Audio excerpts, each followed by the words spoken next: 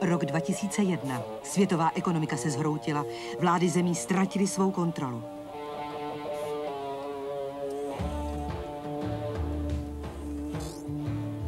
Všude se rozmáhá násilí. Armáda přebrala moc. Dálkově ovládaný umělý kybernetický muž zvaný Kyborg na pokyny kolonela Peka vykonává objednané vraždy.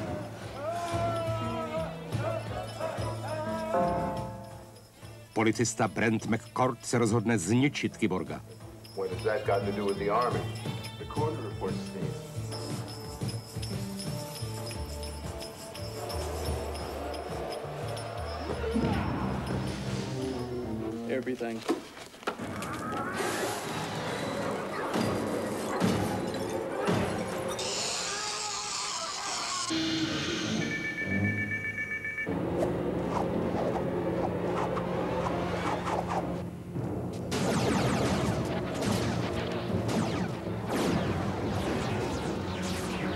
Americký film Kybernátor uvidíte v českém dabingu na videokazetách D Alvin Video.